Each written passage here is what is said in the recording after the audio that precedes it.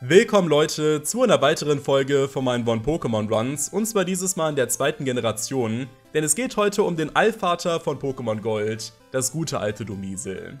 Ja, zumindest würde ich das gerne sagen, wenn Domisel irgendwas vorzuweisen hätte. Das Ding ist bis heute ein reines Meme und es musste bis Gen 9 warten, um endlich eine Entwicklung zu bekommen in Dumimisel, die selbst nicht mal allzu krass war. Generation 2 war allerdings bekannt dafür, einige sehr unfertige Pokémon rausgebracht zu haben und auch generell nicht so starke Pokémon, zumindest zum Großteil. Und somit gab es halt auch viele andere Pokémon, die einfach dringend einen Buff gebraucht haben damals, wie beispielsweise Skorgler, Sneebel oder Traunvogel, aber die meisten davon hatten zumindest irgendwie eine coole Typenkombination oder irgendwelche besondere Gimmicks. Das gute alte Domisel allerdings war schon immer ein reines Normal-Pokémon ohne so viele Besonderheiten. Ich meine, Domisel hatte eine Basiswertsumme von 415 und das ist wirklich, wirklich mies. Und es hat nur einen dreistelligen Stat mit den KP, die immerhin bei 100 sind. Dadurch, dass aber die Verteidigungswerte nicht so krass sind, wird das halt ein bisschen abgeschwächt leider, also Domisel ist jetzt kein unfassbar heftiger Tank. Und dadurch, dass es halt ein Normal-Pokémon ist, hatte es auch praktisch keine Resistenzen. Und leider ist Domisel auch mit 45 Speed ziemlich langsam und der Angriffsstat für die normalen Step-Attacken ist gerade mal bei 70. Das ist kaum höher als die meisten kleinen Basis-Pokémon, die praktisch gar nichts vorzuweisen haben. Also stark ist Domisel ebenfalls nicht und die Frage ist so ein bisschen, was sich Game Freak hierbei gedacht hat. Das Gute ist, wir haben halt auch nur eine Schwäche gegen Kampf und dafür eine Geistimmunität, aber die Frage ist, was Domisels Nische eigentlich sein soll. Wir werden später feststellen, dass Domisel halt etwas merkwürdige Attacken lernt stellenweise, es hat aber einfach keine gute Coverage. Und deswegen war die Frage, wie es sich pazifistisch anstellen wird. Und ihr wisst Bescheid, Freunde, ich durfte auch heute mal wieder nur Kämpfe machen, die absolut Pflicht waren, und jegliche optionalen Erfahrungspunkte musste ich komplett liegen lassen, außer Rare Candies, die ich einmalig in der Region finden konnte, die durfte ich aber auch nur nutzen, als absolut letztes Mittel. Aber gut, ich würde sagen, wir starten jetzt mal mit dem heutigen Challenge Run. Und ich habe versucht, wirklich alles aus Domisel rauszuholen, aber das hier war ein wirklich komischer Run. Weil Domisel hatte stellenweise, auch durch sein Moveset, wirklich komische Matchups. Und wir beginnen natürlich auch dieses Mal mit, da war meine Starter-Pokémon. Und ich habe mich dieses Mal dazu entschieden hier, dem Rivalen Endivie zu geben, damit er später halt ein Lorblatt bzw. Meganie haben wird, mit Rasierblatt, also mit einer guten Pflanzenattacke mit hoher Kritrate und auch Reflektor sowie Giftpuder. Zwei Sachen, die Domisel auf jeden Fall nicht abbekommen wollte und deswegen fand ich das die schwierigste Option. Und dann habe ich mein Pokémon Cystrox genannt nach einem Zuschauer und ihr wisst Bescheid, Freunde, wenn ihr auch mal wollt, dass ich halt ein Pokémon nach euch benenne, dann könnt ihr mir das sehr gerne unter den obersten angepinnten Kommentar schreiben, weil da könnt ihr euch dafür bewerben und das finde ich immer sehr cool. Ja, und dann ging es auch schon los hier mit dem ersten kleinen Kampf gegen den Rivalen und seinen Divie auf Level 5 und dort sieht man jetzt schon, welche Attacken Domisel hatte zu Beginn des Runs. Ja, und haltet euch fest, Leute, ich habe den Run hier gestartet, nur mit Raserei und Einigler. Der Domisel ist eines der wenigen Pokémon im Franchise, die nur mit Boost-Attacken starten. Und die benutze ich normalerweise, nur wenn es unbedingt sein muss, aber in dem Fall hier hatte ich überhaupt keine Wahl. Raserei allerdings hatte zumindest Step hier und die Attacke hat zwar schwach angefangen, aber die wurde immer stärker, wenn ich Schaden genommen habe. Und das hat für Endivie natürlich ohne Probleme ausgereicht. Die erste Station, wo man aber normalerweise Probleme bekommt, ist der Habitat-Trainer in Falks Arena, der halt leider Pflicht ist. Und er hat nur ein Pokémon, aber das ist überlevelt und es spammt die ganze Zeit Schnabel. Dadurch, dass aber Domisel hier relativ tanky war, vor allem mit dem KP-Stat von 100, konnte ich Schnabel hier einige Male wegstecken und ich wurde halt durch jede Schnabelattacke immer stärker und ich habe dann Habitat einfach ohne Beere simpel First Try besiegen können, sogar ohne auf den Crit grinden zu müssen. Das war hier schlicht und ergreifend nicht notwendig. Man könnte also sagen, ich habe den Anfang hier wirklich sehr gut hinbekommen mit Domisel, aber dann kam halt der erste Arenaleiter Falk und der hat dann zwei Pokémon gespielt. Und der ist, obwohl er ein Flug-Arenaleiter ist, bekannt dafür, die Bodenattacke Lehmschelle zu nutzen, um die Genauigkeit zu senken. Und deswegen ist dieser Bosskampf hier für gewöhnlich ziemlich unkonstant. Ich muss aber sagen, dass ich dann Falk hier wirklich zehnmal neu gestartet habe und ich habe ihn jedes Mal ehrenlos gefirstrollt. Denn er hat nicht einmal Lehmschelle verwendet. Ich meine, Domiesel hatte keine Bodenschwäche und deswegen hat Falk hier mit Tackle von Taubsi und später mit Windstoß von Torboga halt den höchstmöglichen Schaden gesehen. Und dementsprechend kam Lehmschelle nie, ich konnte konstant treffen und vor allem dieses Tackle Taubsi zu Beginn, was überhaupt nicht stark war, hat dann direkt meine Raserei gepusht. Und ich hatte halt nach wie vor keine andere Attacke, um sonst irgendwie anzutreten, also musste ich die Boost-Attacke nutzen. Und dann habe ich Falk hier in der Luft zerrissen, tatsächlich ohne eine Beere zu nutzen. Und das ist für einen One-Pokémon-Run ehrlich gesagt ziemlich ungewöhnlich. Aber ja, Domiesel hatte bis hierhin eine sehr gute Zeit. Und das Witzige ist, die Lebschelle von Falk war dann die erste Attacke, die ich Domiesel theoretisch beibringen konnte. Ich wollte aber so gut wie möglich ohne Lebensschelle auskommen, weil das halt viele Kämpfe in Gen 2 komplett schießen kann. Aber dann kam zunächst mal dieser Hiker hier im Einheitstunnel und der war dann ziemlich nervig. Weil der spielt halt drei Kleinsteins, die Raserei ohne Probleme resistieren konnten und die hatten auch eine gute physische Defense. Es blieb aber nach wie vor das Problem einfach, dass Domiesel tanky genug war, um dort fast keinen Schaden zu fressen. Und spätestens nachdem ich halt zweimal angegriffen wurde, war Raserei praktisch nicht mehr resisted und ich habe dann wirklich guten Schaden gemacht auf Dauer. Und ja, der hat auch einen Kleinstein gespielt später auf Level 8, also das war ziemlich tanky. Aber dann war ich an dem Punkt einfach schon so krass gebufft tatsächlich, dass ich selbst die großen Kleinsteins einfach two-shotten konnte.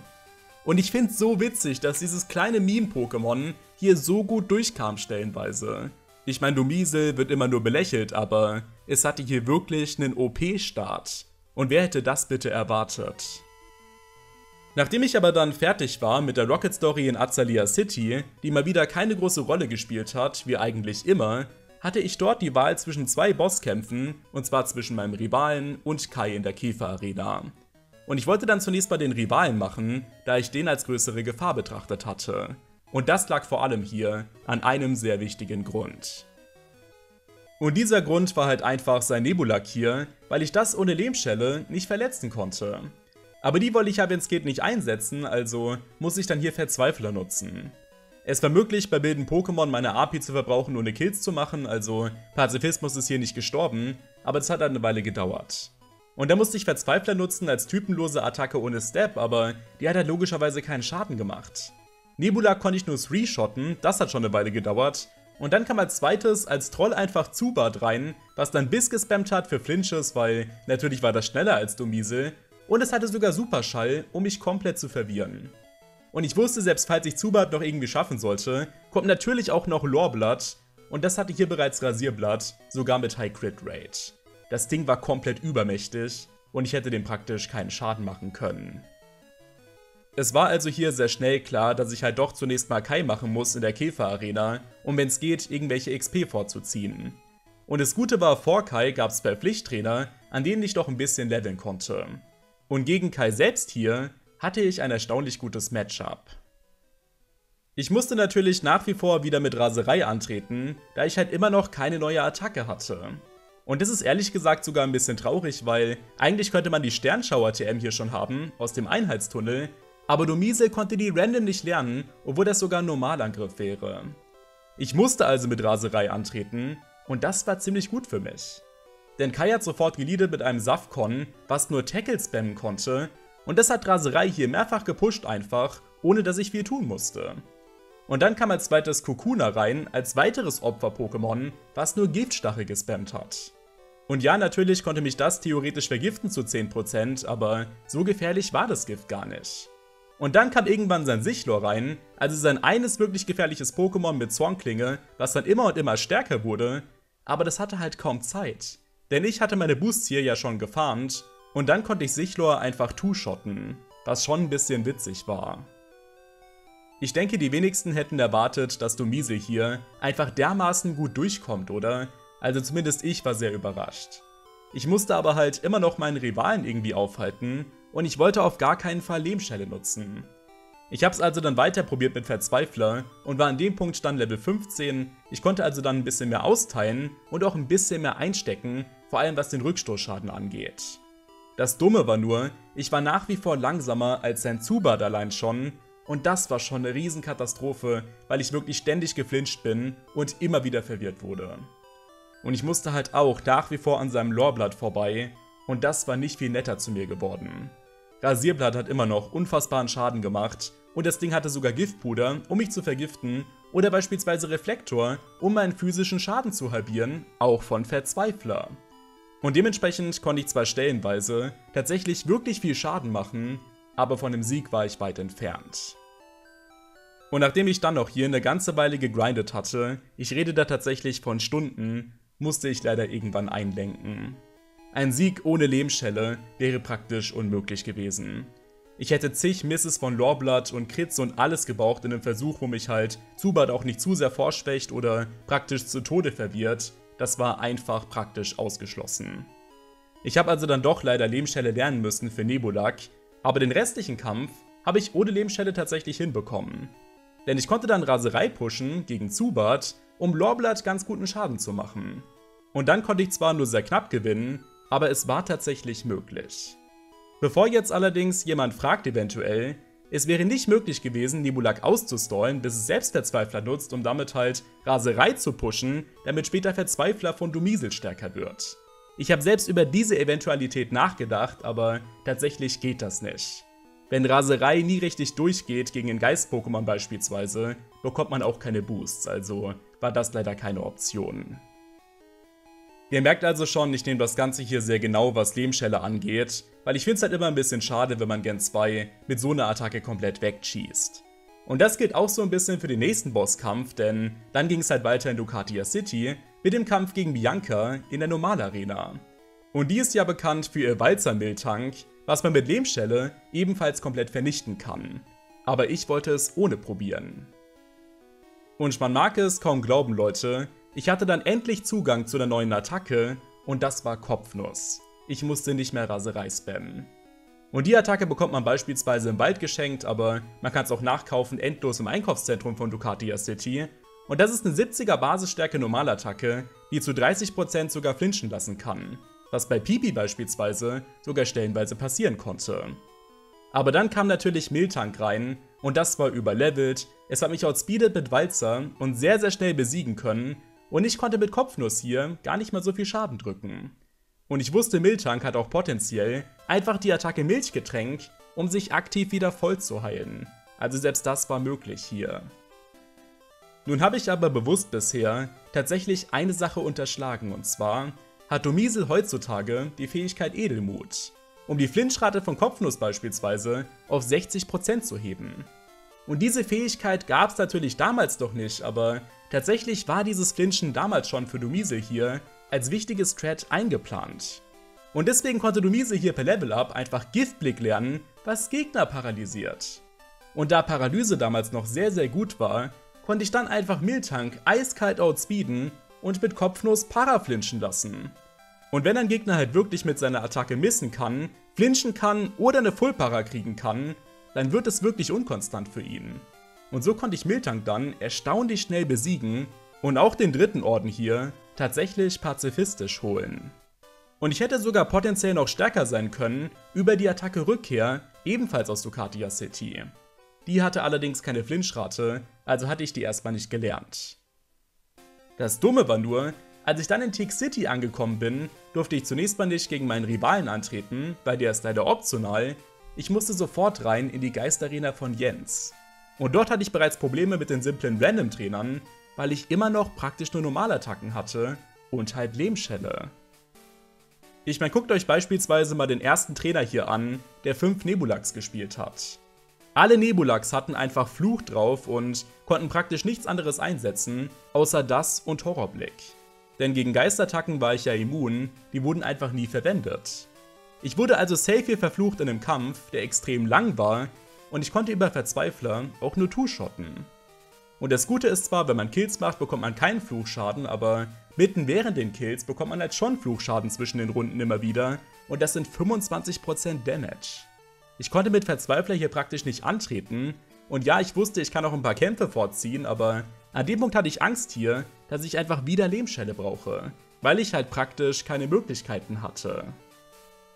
Es gibt aber jetzt einen kleinen Fun Fact und zwar muss man später in den Ducatia Untergrund gehen, um dort bei der Rocket Story gegen den Rivalen anzutreten bei einem Pflichtfight. Und um in den Ducatia City Untergrund richtig reinzukommen, muss man den Random Trainer besiegen. Und wenn man den vorziehen darf, kann man sich den Münzkorb besorgen. Und damit kann man reingehen in die Spielhalle und sich TMs kaufen. Und Domiesel wurde hier wirklich abgestraft, was ich nicht verstehe, weil fast alle Normal-Pokémon können halt Feuersturm, Blizzard und Donner lernen, aber Domiesel kann nur Donner aus irgendeinem Grund. Donner war aber eine Möglichkeit, um Nebulax hier zumindest anzugreifen. Und das habe ich dann probiert. Man muss sagen, Donner ist natürlich keine schöne Attacke, die hat nur 70 Genauigkeit, ich hatte keinen Step drauf und mein Spezialangriffswert war auch nicht so gut, aber ich musste ja nur kämpfen gegen simple Nebulax auf Level 16 und die konnte ich problemlos one-shotten, wenn Donner gehittet hat. Und wie gesagt, Leute, wenn man Kills machen sollte, bekommt man in der Runde keinen Fluchschaden. Und somit war es dann möglich, mit Domiesel tatsächlich alle Random-Trainer von Jens wegzuspeeden, ohne großartige Schwierigkeiten. Und ich hatte dann halt erstmals die Möglichkeit hier, vernünftig gegen Geister anzutreten. Und dann konnte ich auch Jens probieren. Jens war aber natürlich eine andere Herausforderung, weil der ist deutlich stärker als seine Random-Trainer. Denn der spielt hier Nebulak, zwei Alpolos und sogar ein überleveltes Gengar, was ich auch irgendwie aufhalten musste. Und ja, natürlich war ich auch hier mal wieder immun gegen Geistattacken, aber der hat auch mal wieder Fluch gespielt. Und leider war es in der zweiten Generation so geregelt, dass die Flinkklaue hinter einem Random-Trainer liegt, da leider optional ist. Ich hatte also keine Möglichkeit zum Käferturnier zu gehen, um mir die zu holen. Und so konnte ich sein Nebulak niemals outspeeden und das hat immer Fluch gedrückt zu 100%. Ich wusste also, wenn ich jetzt besiegen möchte, dann muss ich es verflucht schaffen. Aber das war nicht so einfach. Der bereits sein erstes Apollo hier hat einfach permanent Hypnose gespammt, um mich einzuschläfern und ja, das konnte mir nicht wirklich Schaden machen, aber das war nicht notwendig. Denn der Fluch konnte mich ja ganz alleine killen und meine Donnerattacken musste ich auch erstmal hitten. Selbst das war ziemlich unkonstant. Aber wie gesagt, ich wollte auf gar keinen Fall einlenken und hab's deswegen weiterprobiert, ohne Lehmschelle. Und ich muss halt ganz ehrlich dazu sagen, dass selbst die Lehmschelle hier gar nicht so sehr hätte helfen können. Ich meine, die hätte auch nicht viel Schaden gemacht und Fluch hätte ich damit halt ebenfalls nicht abwehren können. Ich musste also irgendeine Lösung finden, aber das war gar nicht mal so einfach. Denn ich konnte mir zwar noch eine Minzbeere holen, links von Tick City, einfach bei der Kumo farmen, und damit konnte ich einmalig aufwachen und Hypnose war einmal egal. Und Hypnose konnte auch daneben gehen. Aber sobald ich halt Apollo erfolgreich besiegt hatte, was schon verdammt unwahrscheinlich war, kam halt Gengar. Und Gengar konnte einfach so hier halt wirklich dreimal Donner wegstecken, ohne Schwierigkeiten, um mich auch permanent versuchen einzuschläfern. Und wenn ich dort eingeschlafen wäre, hätte das Ding sogar Traumfresser gehabt, also eine Psychoattacke, die mich wirklich hätte treffen können. Und dann wäre halt auch noch ein Alpollo gefolgt und der Fluchschaden wurde immer schlimmer. Bevor ich aber dann letztendlich aufgeben wollte und potenziell leveln wollte, hatte ich noch einen Lichtblick und zwar konnte ich die Kimono Girls vorziehen, die Surfer einem freischalten. Und da man das benötigt halt, um auf der Overworld sich fortzubewegen, durfte ich die machen, das waren Pflichtkämpfe. Und dann war ich plötzlich Level 24 zu Beginn des Kampfes und dann war es möglich hier, mit dreimal Donner Gengar zu besiegen. Und das hat den Fight hier schon deutlich verändert. Weil dadurch habe ich insgesamt einfach einmal weniger Fluchschaden genommen und der Kampf war wesentlich realistischer. Wir brauchen nicht darüber zu reden, dass das trotzdem hier ein ewiger Grind war. Einer der schlimmsten Kämpfe überhaupt und Donner so oft zu treffen, war unglaublich unkonstant. Aber es war plötzlich möglich. Und dann konnte ich sogar noch das letzte Apollo aufhalten, ohne einen Crit zu benötigen auf einem KP, weil mein KP-Stat genau so war, dass ich 4 mal 25% zahlen konnte, ohne daran drauf zu gehen. Das kann bei Fluch manchmal so sein, ist aber nicht garantiert. Was ein Bossfight. Tja, aber wer jetzt schon dachte, dass Geist-Pokémon lustig waren für Domiesel, der sollte sich mal Kampf-Pokémon anschauen. Denn dann ging's einfach direkt danach weiter mit der Kampfarena von Hartwig, wo ich einfach Schwäche hatte. Und auch der hatte dann mal wieder zunächst mal einige Pflichttrainer, die bereits wirklich hart waren. Und es begann zunächst mal mit zwei Pflichttrainern in a row und man kann theoretisch den ersten besiegen, sich dann sterben lassen und dann den zweiten besiegen aber das war bei meinem Ruleset hier leider nicht erlaubt. Ich musste die nacheinander killen in einem Try. aber bereits der erste hat hier Kikli eingewechselt und das hatte Sprungkick. Und das hat Domisel hier einfach fast gewone-shottet. Ich war sofort im roten Bereich. Und selbst mit Rückkehr hätte ich das Ding nicht one-shotten können. Glücklicherweise musste ich dort aber nicht auf einen Sprungkick missgrinden, denn ich hatte ja immer noch Giftblick. Und das hatte zwar auch nur eine Genauigkeit von 75%, ähnlich wie Eisenschweif beispielsweise, aber es hat halbwegs konstant getroffen und dann konnte ich auf einen Flinch hoffen. Und dann kam zwar noch der zweite Trainer, der dann Nocturne gespielt hat, aber der war nicht mehr so gefährlich. Und da ich eine Beere drauf hatte, hatte ich dann wieder ungefähr 30 KP, wenn Kikliman nicht so viel Schaden gemacht hat. Und dann konnte ich hier sogar noch mehrere Hits überleben, weil Nocturne nicht so gut gespielt hat. Mit Kometenhieb wäre der deutlich gefährlicher gewesen, aber es kam beispielsweise auch manchmal Eispunch und das war nicht so schlimm. Und auch dort hatte ich wieder Giftblick, um dann diesen Kampf abzuschließen. Nachdem ich aber dann noch einen weiteren Trainer sehr leicht besiegen konnte, der mit Macholo und Marshok gemisplayt hat über Geowurf, gab es auch noch diesen Random Trainer hier und der wäre fast extrem gefährlich gewesen, da hätte ich mir fast die Zähne ausgebissen. Weil der hat zwei Mankis gespielt und einen Rasav und ich konnte nur unfassbar knapp hier diese Mankis outspeeden. Hätten all seine Pokémon mich outspeedet und wie gesagt ich konnte keine Flinkklaue holen, hätten die alle Karate-Schlag spammen können und es wäre ein Albtraum gewesen. Aber so konnte ich tatsächlich die Mankis outspeeden und dann eine One-on-One gegen Rasav antreten, was halbwegs gut funktioniert hat. Und dadurch, dass es auch nur die Random-Trainer-KI war, konnte der stellenweise Missplayen über Furienschlag, was sogar theoretisch daneben gehen konnte. Ich habe aber trotzdem diesen Random-Trainer hier nur im tiefen roten Bereich besiegen können.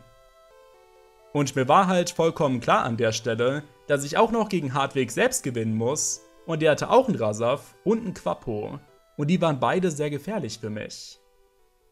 Wenigstens konnte Hartweg hier stellenweise Silberblick einsetzen und mich nicht two-shotten über Karateschlag, und ich konnte mit Kopfnuss in zwei Hits Rasaf besiegen, ohne Rückkehr zu lernen. Und da ich das halt nur einmal lernen konnte, wollte ich mir das so gut wie möglich aufheben. Aber dann kam halt Quappo rein und das konnte mich ebenfalls outspeeden mit Wuchtschlag. Und das hätte mich selbst auf vollen KP einfach komplett gewone-shottet. Wenn man aber genauer darüber nachdenken sollte, dann war diese Wuchtschlagattacke eigentlich das größte Geschenk, was mir Hartwig machen konnte. Denn wenn er eine Kampfattacke gespammt hätte, die sehr stark war, mit 100er Genauigkeit, dann wäre der Kampf eine Katastrophe gewesen. Aber Wuchtschlag misst einfach zu 50%. Es war also möglich hier, einfach auf eine Mist zu hoffen von Wuchtschlag und Giftblick rauszulegen und dann wieder zu Paraflinchen. Und mit einer Attacke mit 50 Genauigkeit gegen aktives Paraflinchen anzukämpfen, das ist gar nicht so einfach. Und dann habe ich zwar fast keinen Schaden machen können, aber Quapo habe ich trotzdem besiegt. Und damit war auch Hartweg durchaus möglich. Lumisel hat hier aber wirklich keine Pause bekommen, was schwierige Kämpfe angeht. Denn dann kam einfach die Stahlarena von Jasmin und die konnte Normalattacken einfach resistieren. Und die ist generell bekannt dafür, ein sehr starkes Stalos zu spielen auf Level 35 mit praktisch unendlich physischer Defense. Aber allein schon dieses Stalos zu erreichen, war alles andere als einfach. Denn die spielt auch zwei Magnetilos und für die habe ich viermal Kopfnuss gebraucht, um die zu besiegen und ich konnte die zwar stellenweise flinchen lassen, aber die hatten Donnerwelle, um mich zu paralysieren, und dann Donnerblitz, um mich fast zu Two-Shotten, und wenn ich hier keine normale Beere getragen hätte, dann wäre ich sogar Two-Shot gewesen. Ich konnte also selbst das erste Magnetido hier nicht konstant besiegen, und dann kam noch ein zweites, und dann halt noch das gesamte Stalos. Ich wollte aber zumindest versuchen, gegen Stalos richtig zu kämpfen, und deswegen habe ich mir dann eine Antipara-Beere genommen, um Donnerwelle einmalig zu heilen, und dann habe ich so lange gegrindet gegen die beiden Magnetilos, bis ich die beiden besiegt hatte, ohne auch nur einen KP-Schaden zu nehmen. Und das hat bereits eine ganze Weile gedauert, aber ich hatte eine kleine Hoffnung bei Stalos, einfach deswegen, weil das für Eisenschweif bekannt ist. Eine weitere Attacke mit keiner guten Genauigkeit, nämlich nur 75%. Ich wusste also, wenn ich dort Giftblick rauslegen sollte und dann wieder auf Paraflinches gehe, dann habe ich eine relativ gute Chance, eine ganze Menge Schaden machen zu können. Das Problem war nur, selbst als es da mal geklappt hat, habe ich so wenig Schaden rausgehauen, weil Stalos halt so absurd physisch defensiv war, dass meine AP nicht ansatzweise gereicht hätten, um diesen Kill durchzuziehen. Ja, und natürlich war der auch sehr unkonstant. Und Jasmin hatte noch einen Hypertrank, um Stalos wieder voll zu heilen, also hätte ich das praktisch zweimal killen müssen. Und das war einfach vor allem ohne Lehmschelle hier praktisch unmöglich. Als ich aber dann zunächst mal einige Kämpfe vorziehen wollte, gegen Team Rocket Rüpel beim See des Zorns, habe ich irgendwann Level 30 erreicht und dann hat Domiesel einfach Kreideschrei gelernt. Ich hatte das gar nicht so wirklich auf dem Schirm, dass es kommen würde, aber das hat mir dann hier wirklich extrem geholfen. Denn damit konnte ich die physische Defense meiner Gegner um zwei Stufen senken und das hat bereits den Magnetilos etwas konstanter gemacht, aber vor allem gegen Stalos war das ein riesen Lichtblick. Denn ich wusste klar, selbst wenn ich auf minus 6 kommen sollte bei Stalos, werde ich immer noch nicht so viel Schaden machen, aber schon mal deutlich, deutlich mehr als zuvor und dann könnten sogar meine AP reichen. Das Dumme war nur, selbst wenn ich Giftblick rausgelegt habe bei Stalos, in einem wirklich guten Versuch, wo ich halt noch nicht mal vorgeschwächt war, war es sehr schwer Kreideschrei zu spammen, weil das flincht ja nicht, also musst du dort komplett die Paralyse mettern oder die Misses von Stalos. Und das ist dann erstmal nicht passiert. Und ich habe dann leider ziemlich oft verloren hier, oft in der Runde, wo ich meinen dritten Kreideschrei gegen Stalos rauskriegen konnte, weil es einfach dermaßen unkonstant war. Aber dann habe ich meine Taktik hier ein kleines bisschen geändert. Es blieb dabei, dass ich ohne Vorbelastung halt bei Stalos stehen wollte, auch ohne Paralyse vor allem, also das ist gleich geblieben. Aber was ich dann ändern wollte, war, dass ich nur zweimal Kreideschrei rauslege, nach der Paralyse gegen Stalos, und dann wollte ich bereits anfangen, Kopfnuss zu spammen.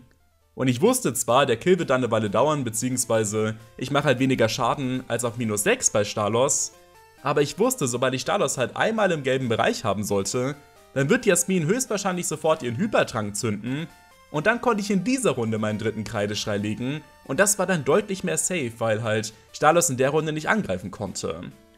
Und sobald ich dann Stalos einmal erfolgreich hier auf minus 6 hatte, habe ich so viel Schaden gemacht über Kopfnuss, dass Domiesel hier einfach physisch Stalos in 4 Hits besiegen konnte, mit einer Attacke, die Stalos sogar resistiert hat. Und das sieht man wirklich selten, aber bei dem Plan konnte ich das sinnvoll rauslegen. Und natürlich, sobald ich halt dann auf Paraflinch gegangen bin, war Stalos dermaßen unkonstant mit Eisenschweif, dass die Siegeschance gar nicht mal so verkehrt war. Aber ich muss schon sagen, die Orden 4 bis 6 waren für Domiesel wirklich keine angenehme Zeit. Ich habe an jedem dieser Bosskämpfe eine ganze Weile gesessen und gefeilt, aber es war alles irgendwie möglich. Aber dann kam endlich mal wieder ein Bosskampf, der ziemlich fair war, denn dann ging es weiter zum Kampf gegen Norbert. Und das ist ein Eisarena-Leiter, und ich konnte halt vorher noch ein bisschen leveln an weiteren Team Rocket Rüpeln, die ich bisher noch nicht besiegt hatte. Und dann war ich fertig mit der Rocket Story beim See des Zorns. Und dann bin ich reingegangen in diesen Fight hier und der war einfach nicht schwierig. Norbert hatte hier stellenweise Nebeneffekte, die konnten anstrengend werden, wie beispielsweise Eissturm von seinem U-Rob, was meine Init senken konnte, Aurora-Strahl von seinem Yugong, was meinen Angriff senken konnte, oder Blizzard von seinem Keifel später, was mich sogar einfrieren konnte. Aber all diese Nebeneffekte waren relativ unkonstant bzw. sind nur sehr selten aufgetreten und ich hatte halt nach wie vor Kreideschrei und Giftblick, um mir hier einiges an Abhilfe zu verschaffen. Und dann habe ich Norbert hier zwei, dreimal probiert und dann sehr, sehr schnell gewonnen.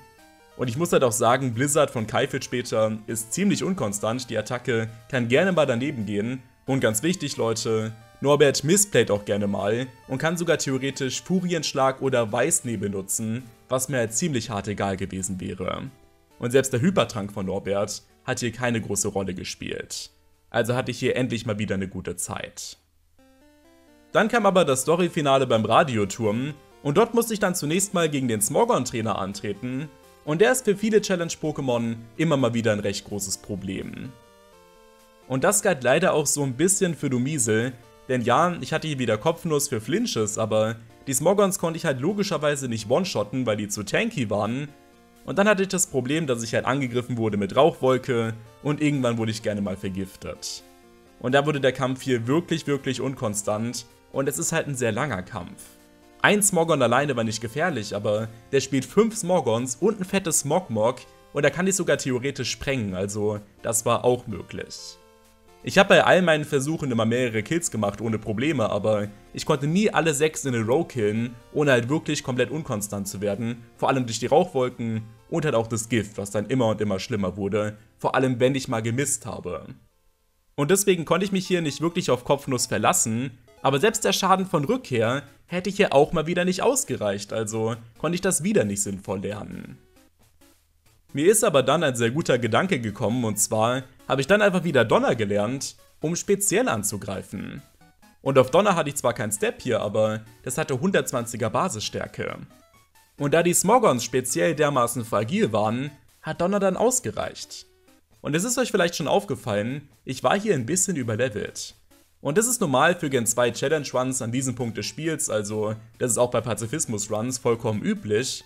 Aber ich muss schon sagen, Numisel hat hier besonders gut gelevelt, also ich habe da sehr gut dagestanden. Und ja, Smogmore konnte ich natürlich nicht one-shotten und Donner war nach wie vor ziemlich unkonstant.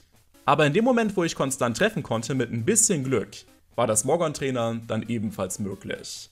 Aber das war eine weitere Hürde, die mich ein bisschen Zeit gekostet hat. Und ich konnte mir dann natürlich die Rauchwolken wirklich gar nicht mehr leisten.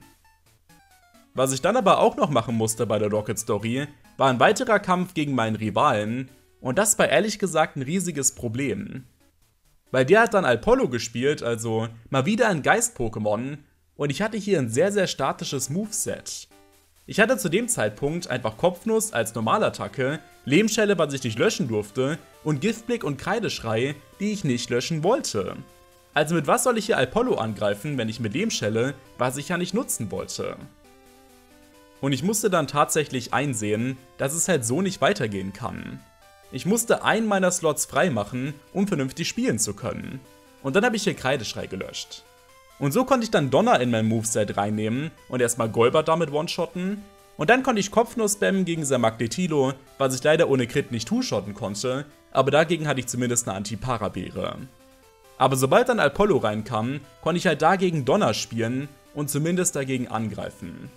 Ich hab's aber leider nicht one-shotten können, weil ich halt einfach keinen Step hatte und selbstverständlich hatte auch dieser Geist hier mal wieder die Attacke Fluch. Ich habe aber dann sogar mitten im Kampf hier einfach Bodycheck gelernt und damit konnte ich sein Sneeble one-shotten. Das hätte mit Kopfnuss nicht funktioniert. Und so konnte ich ein bisschen Fluchschaden umgehen, weil ja zwischen den Kills kein Fluchschaden kommt in Gen 2, aber es kam auch noch Megani Und dem konnte ich einfach nur so wenig Schaden machen, dass ich dann riesige Probleme hatte. Und ich bin dann einfach jedes Mal zerschellt, weil mir einfach der Damage ausgegangen ist. Aber hier ist halt jetzt das Gute. Dadurch, dass ich Kreideschrei gelöscht hatte, hatte ich jetzt Platz für Rückkehr im Moveset, plus eine weitere Schadensattacke, die halt nicht Lehmschelle ist. Ich konnte also damit Rückkehr und Donner antreten, und dann war hier deutlich mehr möglich. Golbart konnte ich wie gesagt one-shotten über Donner, und mit Rückkehr konnte ich dann Magnetilo two-shotten, ohne halt auf den Crit zu hoffen. Und dann konnte ich zwar nach wie vor hier halt immer noch nicht Apollo One hitten, das war ein Problem, aber ich musste dann nicht mehr Bodycheck lernen gegen Sneeble, weil jetzt Rückkehr gereicht hat. Und dann kam zwar als letztes wieder Meganie, aber das konnte ich dann über Rückkehr einfach two-shotten, um diesen Kampf abzuschließen. Und dadurch, dass ich halt wusste, dass so ein Gegner wie Stalos nicht mehr kommen wird im Run, konnte ich Kreideschrei hier ziehen lassen, auch wenn es ein bisschen wehgetan hat. Aber das war halt ein bisschen blöd in Gen 2, denn nachdem ich dann fertig war mit der Rocket Story, konnte ich weitergehen zur Stadt von Sandra, zur Drachenarena. Und normalerweise könnte man halt in Hard Gold beispielsweise in den Remakes dort zu einem Erinnerer gehen mit Herzschuppen und dann Kreideschrei wieder zurückholen. In Gen 2 gab es allerdings diese Mechanik noch nicht, also war die Attacke leider für immer verloren. Aber gut, ich habe dann ohne weiter gespielt und bin dann zunächst mal gegen Sandra angetreten, um erstmal die Hauptorden abzuschließen. Und ich hatte hier wirklich große Hoffnungen für den Orden, weil ich auf Level 44 angekommen bin, also komplett überlevelt. Und ich konnte dann die Dragoniers auch alle outspeeden, aber leider hat der Schaden hier nicht ganz ausgereicht für einen One-Shot über Rückkehr und dann wurde ich paralysiert und permanent mit Coverage-Attacken zugespammt, die auf Dauer dann schon viel Schaden gemacht haben. Und nachdem man halt drei Dragoniers von Sandra besiegt hat, kommt irgendwann Sedra King auch noch mit einer sehr starken Surfer-Attacke mit Step. Und das ist mit Abstand ihr gefährlichstes Pokémon, was ich hier noch nicht mal konstant zu Gesicht bekam. Mir hat hier einfach so ein bisschen der Schaden gefehlt, um die Dragoniers komplett zu killen. Aber es hat nicht viel Schaden gefehlt. Und dann wollte ich mal wieder was ausprobieren, und zwar konnte ich hier ein besonderes Item tragen. Man kann sich nämlich das rosa Band besorgen, beispielsweise im Radioturm, den ich gerade eben gerettet hatte, um Normalattacken um 10% zu pushen. Und das war ein tragbares Item, was Domiesel tragen konnte. Und plötzlich war die Dragoniers One-Shot. Es hat dann ganz, ganz knapp ausgereicht und mit einer großen Low-Range konnte ich es auch mal verkacken, den One-Shot, aber es war recht konstant. Ich konnte also dann einfach auf vollen Leben hier ihr Sedra King erreichen, ohne paralysiert zu sein. Und dann war Domiesel hier tanky genug, vor allem weil ich überlevelt war, um zweimal Surfer wegzustecken und Sedra King zu two-shotten. Denn auch dort konnte ich dann wirklich sehr guten Schaden machen und den achten Orden einfach easy abschließen. Aber das sieht man wirklich, wirklich selten, dass Rosa Band eine Rolle spielt. Aber hier eben schon. Bevor ich aber dann endlich bei der Liga antreten konnte, musste ich auch noch gegen meinen Rivalen gewinnen bei der Siegestraße und vor dem hatte ich erneut hier so ein bisschen Respekt. Ich muss aber sagen, dass diese Angst hier relativ unbegründet war. Denn ich war an dem Punkt einfach dermaßen überlevelt, weil der Rivale hier so schlecht gelevelt ist, dass ich den ziemlich zerstören konnte. Denn Sneeble konnte ich einfach so one-shotten über Rückkehr, gegen Golbart hatte ich wieder Donner, was ich natürlich treffen musste, aber das war zumindest halbwegs konstant. Und dann kam zwar Magneton, also nicht mehr ein kleines Magnetilo, aber das war nicht stark und die Donnerwelle musste er erstmal rauskriegen und ich konnte dagegen auch theoretisch eine Beere tragen, also war das alles nicht so tragisch. Und dann kam hier einfach wieder sein Apollo rein und das war an dem Punkt dermaßen kacke gelevelt, dass es schon Range-Kill war mit Donner, also ich hätte das potenziell one-hitten können. In meinem Fall allerdings habe ich einfach eine Paralyse bekommen und das Ding hat Horrorblicke missplayed. Da hatte der Rivale einfach ein bisschen Pech. Und dann war der Kampf halt mehr als gelaufen. Ich meine, sein Kadabra war eine riesige Glass Cannon, das konnte gar nichts. Und dann kam noch Megani rein und das war wieder Two-Shot über Rückkehr, ohne dass es wirklich gefährlich wurde. Der Rivale konnte mir hier nichts mehr entgegensetzen. Ich kann hier also verblüffenderweise festhalten, dass ich mit Domiesel pazifistisch einfach die Liga erreichen konnte, ohne irgendwelche optionalen Erfahrungspunkte. Und ich hatte sogar seit Azalia City einfach keine Lehmschelle mehr verwendet. Ich hätte nie erwartet, dass Domiesel mit einer dermaßen schlechten Coverage halt das alles irgendwie hinbekommt. Aber die Liga selbst war natürlich halt doch mal eine ganz andere Challenge. Das Gute war, ich bin überlevelt angekommen auf Level 47, aber die Liga wird später hochgehen bis auf Level 50, die wird also so ein bisschen aufholen. Und ich hatte dann stellenweise wirklich sehr ekelhafte Matchups zu befürchten. Es begann mit Willi dem Psychotrainer und hier war mein Schaden erstmal ziemlich prima. Ich wusste, ich kann sein Xato one-shotten über Donner und dann kommt wahrscheinlich Rosana direkt rein, was One-Hit ist über Rückkehr. Allerdings hatte Xato hier Konfusstrahl und Rossana hatte Todeskuss, um mich sogar einzuschläfern. Und natürlich konnte ich gegen eine Sache davon eine Beere tragen, aber halt nicht gegen beides. Und somit war bereits der Anfang der Liga ziemlich unkonstant und ich habe hier einige Male verloren, weil ich einfach komplett weggecheased wurde. Aber wir kommen jetzt leider so langsam zu einem Problem, was ich nicht wirklich lösen konnte. Lumiesel war im gesamten Run relativ gut gewesen, in relativ kurzen Kämpfen weil dann konnte ich irgendwas wegschießen über Giftblick into Kopfnuss oder ich konnte irgendwas two-shotten wie das Sedra King von Sandra, das war alles vollkommen okay. Aber in Kämpfen, wo die Gegner halt wirklich 5 solide Pokémon haben, war Domiesel gar nicht gut aufgehoben. Ich wurde ständig outspeedet von allem möglichen und immer wieder angechippt. Und ja, ich habe hier guten Schaden gemacht, aber selbst der war manchmal unkonstant, wegen wie gesagt den Status-Moves von meinen Gegnern. Und so bin ich hier beispielsweise bei Lamus später extrem angechippt rausgekommen. Der Gegner hatte eventuell sogar schon Reflektor draußen oder Leech Seed auf Domiesel. Und ich hatte riesige Schwierigkeiten, weil ich musste dann noch zwei weitere Gegner killen. Und ich habe dann bei diesem Kampf hier direkt gemerkt, dass der Rest dieses Runs hier vermutlich ein ziemlicher Albtraum wird. Denn ich habe bereits an Willi locker zwei Stunden gesessen. Ich denke schon, dass ich währenddessen extrem viel Pech hatte, also ich wurde hier wirklich ständig von Todeskuss von Rossana getroffen oder ja von Reflektor von Kokowai komplett weggecheased, aber ich hatte auch immer wieder gute Versuche und die sind einfach nicht siegreich geworden. Und ich hatte halt mit Domiesel praktisch gar keine Möglichkeiten, um diesen Kampf irgendwie zu vereinfachen. Das einzige, was möglich gewesen wäre, wäre theoretisch Erholung zu lernen, was ich mittlerweile hatte als TM, aber was hätte ich dann mal wieder löschen sollen? Eine meiner beiden Schadensattacken, Lehmschelle, was ich nicht löschen durfte, oder Giftblick, was ich eigentlich auch behalten wollte. Ich habe also dann weiter mit diesem Moveset gegrindet und es hat dann irgendwann funktioniert, aber auch nur im roten Bereich, nachdem ich sein letztes Xatu dann fast noch gekillt hätte. Und das war wie gesagt nur der erste Kampf der Liga, es wird später noch deutlich schwieriger. Es gab aber auch einen großen Lichtblick in der Liga und das war der Kampf gegen Koga. Weil das war der Gifttrainer, und gegen den hatte ich sehr gute Matchups. Sein Ariados war nicht wirklich gefährlich, das ist eh kein gutes Pokémon. Und dann kam Urmod rein und das konnte ich über Rückkehr sogar one-shotten, weil es ziemlich fragil war. Und für den Fall, dass ich vergiftet wurde, hatte ich halt einfach eine Gegengiftbeere. Und dann kam Forstelka rein und das kann potenziell gefährlich werden, weil es halt Normalattacken resistiert mal wieder und es hat Explosionen, um sich zu sprengen. Aber ich hatte Donner dagegen und Forstelka ist speziell recht fragil, ich konnte das also einfach two-shotten. Und dann war ich halt immer noch locker im grünen Bereich und musste nur noch Slimog und X-Bart besiegen, die dann einfach nicht mehr so schlimm waren. Slimogs Toxin konnte ich dann noch abwehren über die Beere, die noch nicht verbraucht war, und dann kam X-Bart rein und dagegen hatte ich sogar Donner. Und das hat zwar nicht ausgereicht und er hat einen Trank gespielt und er kann sogar seinen Fluchtwert erhöhen. Aber das muss halt alles überhaupt nicht mettern. Also war Koga insgesamt wirklich ein sehr fairer Bosskampf. Nun wusste ich aber halt, was danach kommt und das war ein bisschen tragisch. Denn es kam dann einfach Bruno, der Kampftrainer, und das ist einfach mega unglücklich gelaufen. Domiesel kam in der Generation raus, wo wirklich zwei Kampfbosskämpfe sehr, sehr wichtig sind im Playthrough. Ja, und er hat zunächst mal ein Capoeira gespielt ohne Kampfattacke, das war noch nicht so schlimm.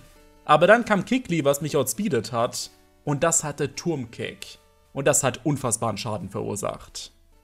Und ich konnte dann zwar Kikli one-shotten, weil es sehr fragil war, aber der hat auch Nocturne gespielt, um das Trio voll zu machen, und das hatte Tempo-Hieb. Eine Kampf-Prio-Attacke, die ich unmöglich umgehen konnte. Und die hat mich dann andauernd gekillt. Aber leider war all das, was ich gerade angesprochen hatte, halt nur der Anfang des Kampfes. Das Gute ist, ich konnte hier stellenweise ein bisschen Glück haben und Kikli konnte statt Turmkick tatsächlich Doppelkick nutzen, wahrscheinlich weil er dort die höhere Genauigkeit gesehen hat, und das hat nicht so viel Schaden verursacht. Es hat aber zumindest ausgereicht, dass mich halt Nocturne dann mit zweimal Tempohieb in den roten Bereich hauen konnte, also war es nicht so viel besser. Ich konnte aber so zumindest sein viertes Pokémon sehen, aber das war halt umso bedrohlicher. Denn es kam dann einfach Mahomai rein, sein mächtiges Ace, mit der Attacke Kreuzhieb. Und die hätte mich selbst gewonshottet auf vollen Leben, da bin ich mir ziemlich ziemlich sicher. Und das konnte ich halt über Rückkehr auch nur two-shotten.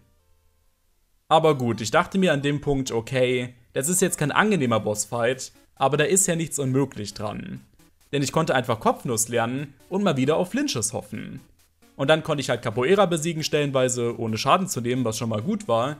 Und dann konnte ich halt wieder hoffen auf ein Missplay von Kikli, um hinten raus wieder Machomai zu erreichen. Und dadurch, dass ich Machomai outspeeden konnte, konnte ich auch das wieder flinchen lassen. Und ich habe ja über Kopfnuss durchaus guten Schaden machen können, also war es alles gar nicht mal so tragisch, wenn ich ein bisschen Glück hatte. Und sobald ich dann wusste, dass Bruno hier mal wieder einen Trank nutzen wird, konnte ich das predikten über Rückkehr, um Machomai so sehr zu punishen, dass es dann down gegangen ist, bevor es nochmal angreifen konnte. Aber das große Problem war hier, dass Bruno 5 Pokémon gespielt hat. Und dann kam Onyx rein. Eine gewaltige Steinschlange mal wieder, mit unendlich physischer Defense, Elektroimmunität und Normalresistenz.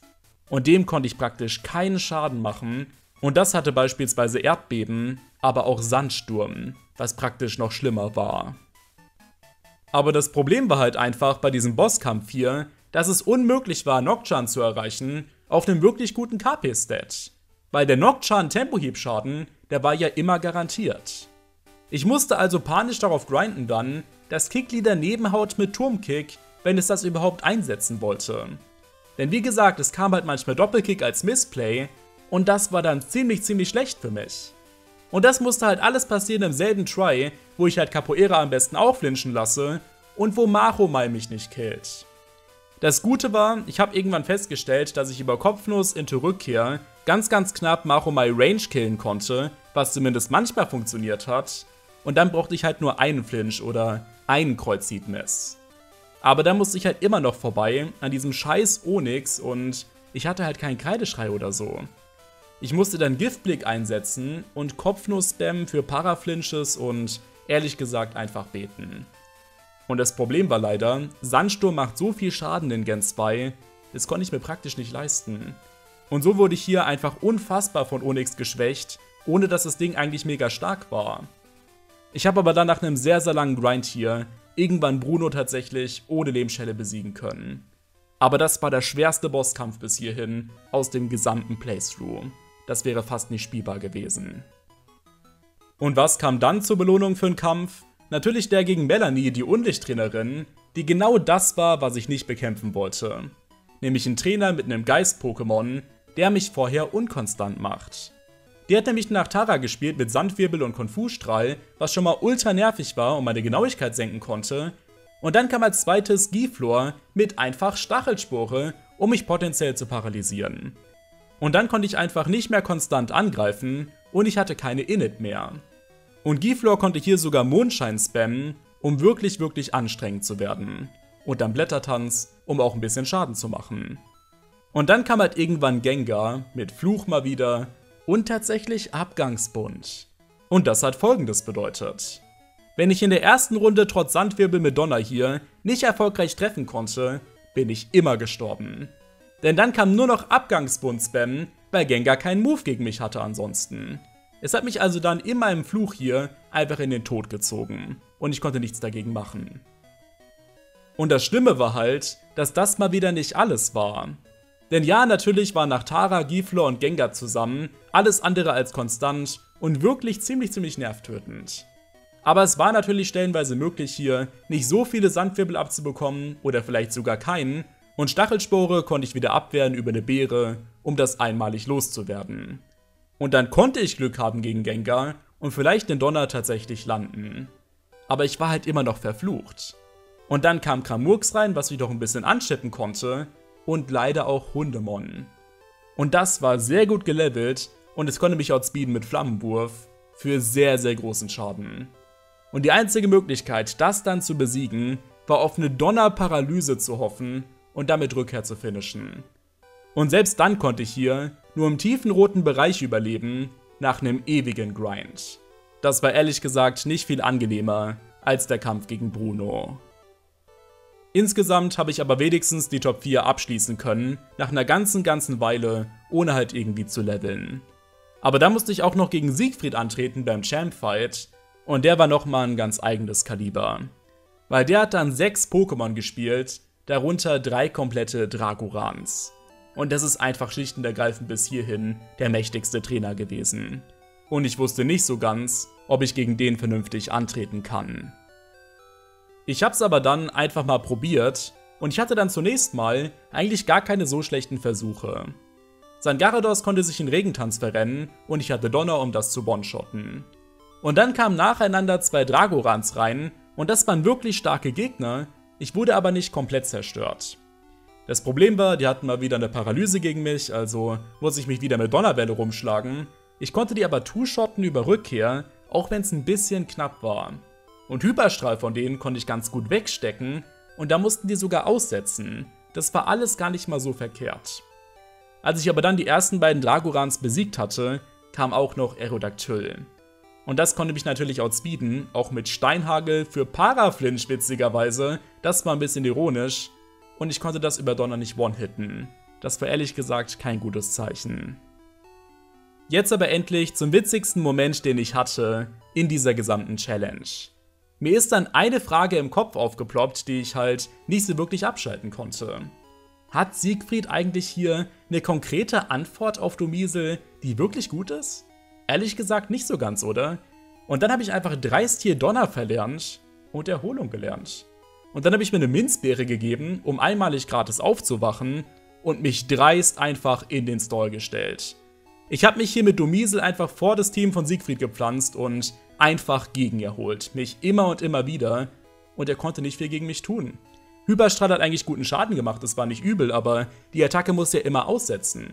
Und das waren alles gratis Erholungsrunden für mich, beziehungsweise ja, Runden, die ich halt wasten konnte, bevor ich wieder aufgewacht bin. Und dadurch, dass ich halt relativ viel Schaden machen konnte, sah es dann ganz gut für mich aus. Und Donner habe ich nicht unbedingt gebraucht. Natürlich war Garados angenehmer mit Donner, keine Frage, und gerade Aerodactyl hat da ein bisschen gedauert, weil Rückkehr konnte das ja resistieren.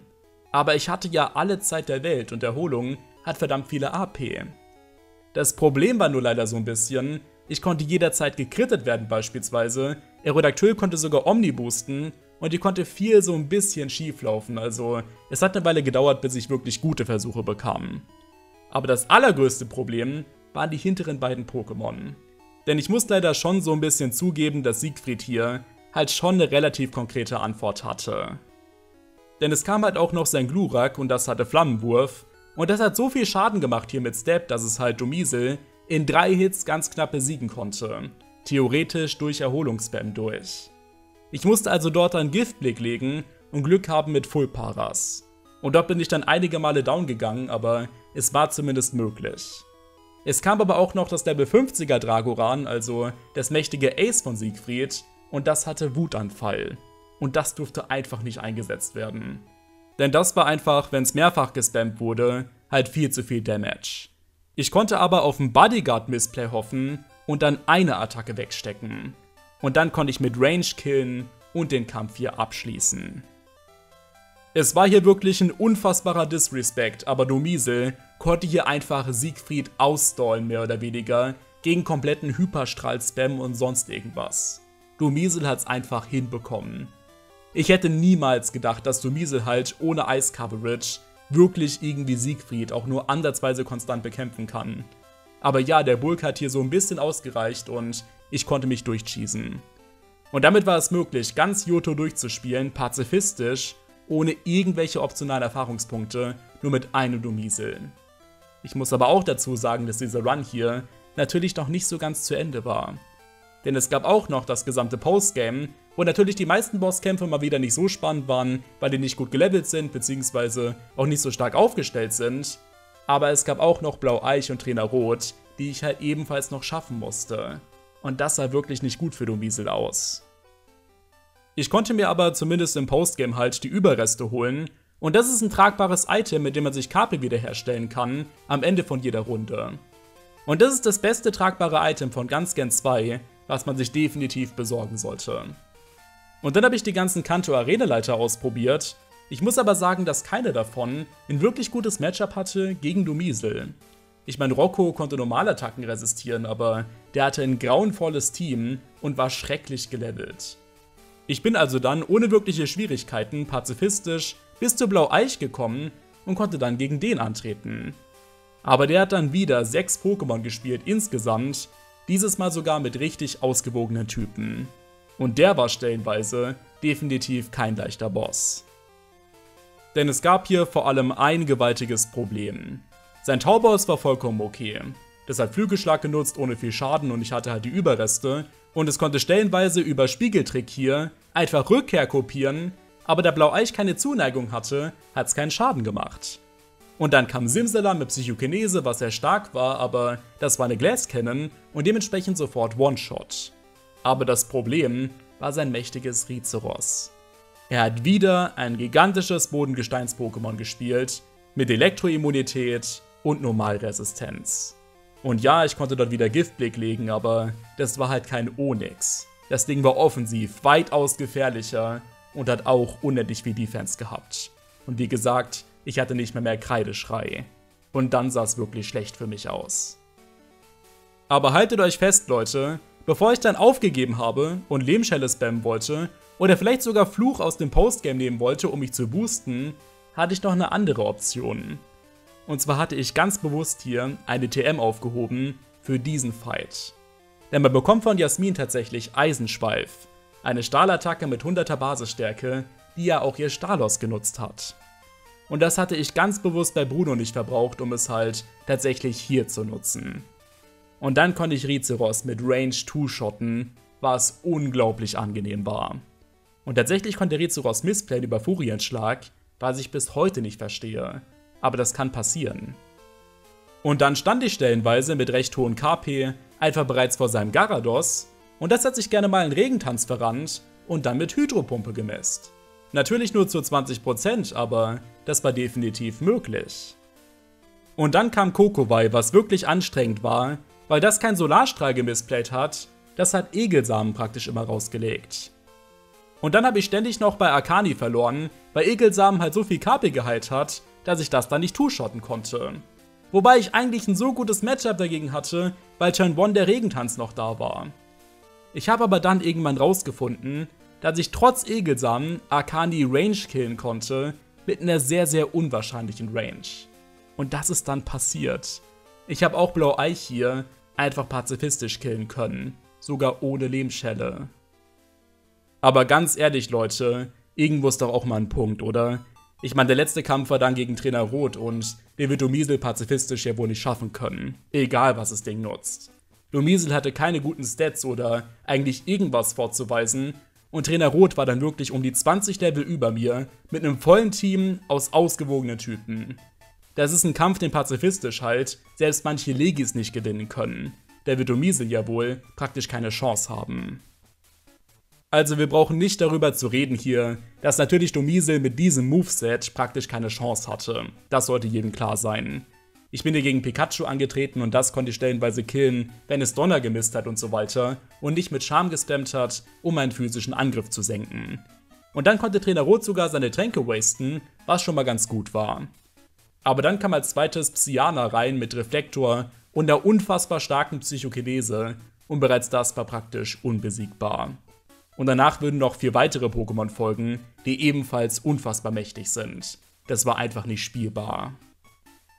Aber ich hatte es ja eben schon angeschnitten, Domiesel konnte wie viele Challenge-Pokémon auch mal wieder Fluch lernen im Postgame, weil man die TM einmalig findet in Prismania City in Kanto. Und das ist eine Boost-Attacke, die Init aufgibt, um die physische Attack und die physische Defense zu erhöhen. Und dadurch, dass Domiesel eh outspeedet wurde von praktisch allem an dem Punkt, war Fluch einfach genial. Und dann konnte ich Lehmschelle spammen, weil ich mir wie gesagt seit Azalea City die ganze Zeit aufgehoben hatte im Moveset, um die Genauigkeit von Pikachu zu senken, um dort mein Setup zu machen. Und wir brauchen nicht darüber zu reden, dass das anstrengend war, weil ich wurde natürlich ständig getroffen, mit Charme zugespammt, was mein Angriff wieder gesenkt hat, dann brauchte ich wieder mehr Fluch oder ich wurde paralysiert über Donner oder gekrittet. Das ist alles mal passiert. Aber das Setup war möglich. Und dann konnte ich irgendwann zum Sweep einleiten und Domesel wurde wirklich gefährlich für Trainer Roth. Denn ich meine, Psyana konnte natürlich gefährlich werden immer noch über Psychokinese oder beispielsweise Reflektor, um wieder meinen physischen Angriff zu halbieren, aber One-Shot wäre das Ding dennoch gewesen, weil es halt fragil ist. Und dann hat Trainer Roth hier einen gigantischen Fehler gemacht, der wirklich wichtig war. Er hat als drittes immer Relaxo eingewechselt. Nicht Glurak oder Turtok, die mich hätten finishen können, nach einem Psychic vom Psyana. Nein, Relaxo als physisches Pokémon, was mir keinen Schaden mehr machen konnte. Und dann konnte ich dort einfach mit Lehmschelle mal wieder prima rumstollen, um über die Leftovers wieder volle KP zu bekommen. Und ich hatte sogar clever hier die Attacke Schutzschild noch gelernt, die man ebenfalls in Prismania City kaufen kann, um doppelte Leftovers zu bekommen, wenn ich es denn mal brauchen sollte. Und dann konnte ich wieder komplett auf Full Life gehen und hoffen, nicht paralysiert zu werden über Body Slam, um dann irgendwann Relaxo zu besiegen und den finalen Speed einzuleiten. Und dann wurde mir auch noch Floor geschenkt, weil sich das halt praktisch immer in Solarstrahl verrannt hat. Ich muss aber da dazu sagen, das könnte stellenweise Sonnentag einsetzen und dann hat man sofort verloren. Denn wie gesagt, ich musste halt auch noch vorbei an Glurak und an Turtok und einen geboosteten Flammenwurf wollte ich jetzt nicht unbedingt tanken müssen. Ich muss aber erstaunlicherweise sagen, dass mit Protect Überrest Spam es möglich war, Flammenwurf und Surfer von Turtok insofern zu überleben, dass sogar Turtok hinten raus missplayen konnte über Rain Dance, weil es keine Killrange mehr gesehen hat. Es war dann mathematisch möglich hier, mit Domiesel pazifistisch einfach komplett Trainer Rot zu besiegen. Und dass das geht, ist das größte Meme überhaupt. Domiesel war stark genug. Ich habe diesen Run hier nicht mit der Intention gestartet, komplett Pazifismus durchzuspielen. Ich dachte, das wird ein normaler Challenge-Run, wo ich halt immer mal wieder leveln muss, weil irgendwas praktisch an Unspielbarkeit grenzt, aber Domise konnte sich immer irgendwie durchmogeln und einfach das gesamte Spiel plus Postgame durchspielen und ich musste nicht mal einen optionalen Trainer machen beispielsweise, um die Flinkklaue für Fluch zu holen. Das war nicht notwendig. Ja, eure Meinung hierzu gerne in die Kommentare. Ich fand den Run hier sehr unterhaltsam und ihr könnt euch auch gerne andere Pokémon wünschen, die ich mal ausprobieren soll. Und dann könnt ihr mir auch sehr gerne auf Twitch folgen, wo ich halt diese Runs hier regelmäßig live verspiele. Und dann könnt ihr mir auch sehr gerne hier ein Abo da lassen. Das würde mich ebenfalls sehr unterstützen. Und da würde ich sagen, Leute, sehen wir uns bald. Ich habe noch sehr, sehr viel geplant. Und an dieser Stelle auch Dankeschön an meine Patreon-Spender. Ohne euch würde es meine Kanäle vielleicht in einiger Zeit nicht mehr so geben, wie wir sie gewohnt sind. Deswegen riesiges Dankeschön an euch. Und ihr seht jetzt hier noch meine Endcard. Links ist mein Yu-Gi-Oh! Kanal und rechts daneben ist mein Sponsor und rechts daneben sind noch zwei Videos. Das obere wird euch von YouTube empfohlen und das untere ist die letzte Folge dieses Formates, deswegen schaut da mal rein. Bis bald, tschüss.